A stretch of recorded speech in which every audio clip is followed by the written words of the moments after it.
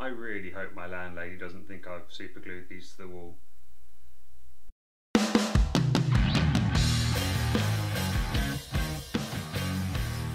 Welcome back everyone. Good to see you again. If you hadn't guessed it already, it's another shoe review and today is Salomon's Speedcross 5. And yes, this is 100% red other than the mud. I ran my first trail race, the Glencoe Marathon, back in 2014. That was in a Speedcross 3 that I bought myself. Today's shoe was sent to me by Spike PR on behalf of Salomon. I haven't been paid for this. I've not been told what to say.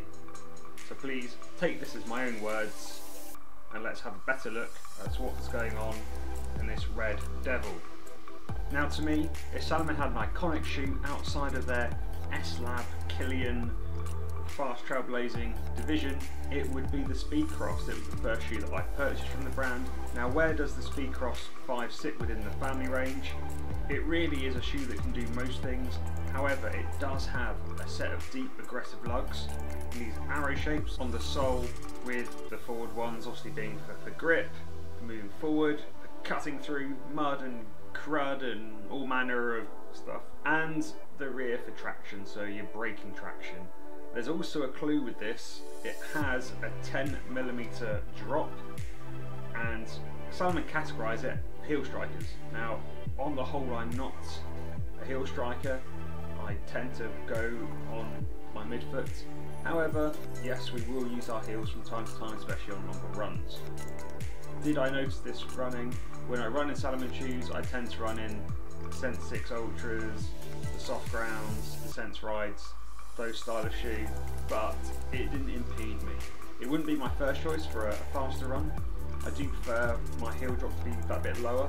However, you know, I've done 70, 80 miles in this and it's been a good ride. And that's one thing it will give you is plenty of cushion, plenty of support. In terms of support, you get a fair bit. It's got a really big heel cup and you can see how the back really hugs you. Uh, there's plenty of padding inside and you've got their Energy Plus cell. It's designed to give you a more of a plush, responsive midsole to kind of give you maximum energy return, but also give you that support and cushioning. And to be fair, there is a fair amount in the Speedcross, despite having obviously quite big lugs. As I said, my first pair of Salomons were a pair of Speedcross 3s, and I remember being a bit off put by them running down Ben Nevis on the tourist path because the lugs were a bit softer so they would move a fair bit. So when you're coming down a big rocky garden section and they're moving around it didn't inspire maximum confidence. Now I reviewed the Salomon Speedcross Pro a couple of years ago, a few years ago, a while ago and that had changed, they were harder they didn't move around as much and that's the same here so there is a bit of compliance and they have these central sips that allow the lug to basically compress more to get the lay of the land better, to give you better traction. What it does mean on harder pack terrain, you've got a more enjoyable ride, which is important because there's always roads, there'll be some rock. It does for me, for me personally, allow you to use them in much greater varied terrain. The outsole is Salomon's Contagrip, which you see across you know the entire range, give or take. It is a grippy sole. It isn't the grippiest, but let's counter that, it lasts longer than many others.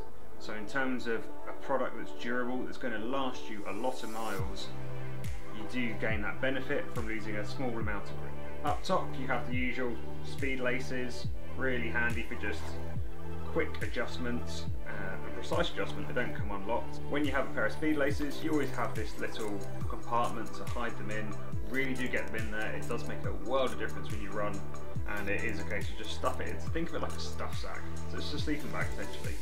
Stuff them in, they stay away, they don't loop around, catch your and go flying. So something I haven't seen before on the top of shoe is this guard. So it's kind of like a dirt guard, keeps out all the debris and you've still got your your tongue below it but you can see they're independent of one another and it forms a barrier above the tongue which has proven to be really useful. It has kept out anything that's come across and as is visible you have your usual SensiFit around the top, so you've got that seamless construction that's really comfortable, that always feels like a sock.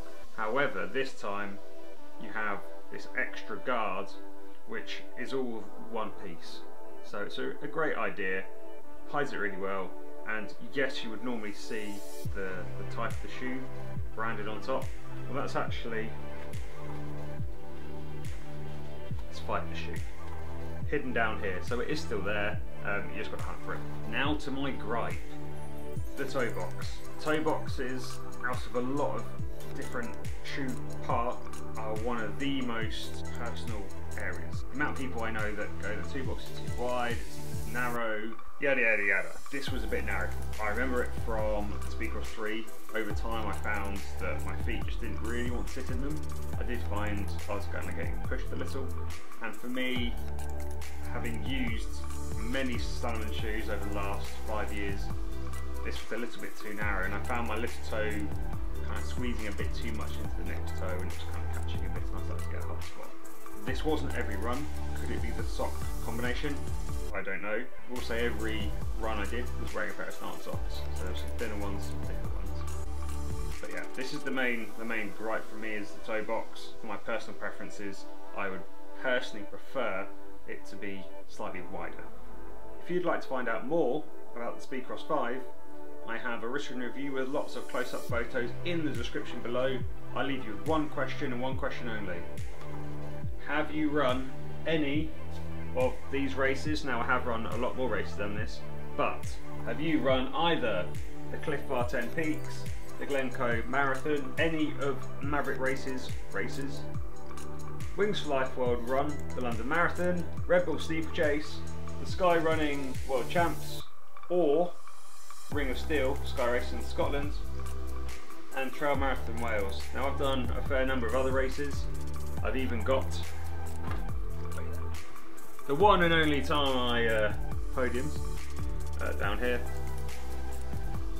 But where have you raced? And have you raced where I've raced? Raced. See ya.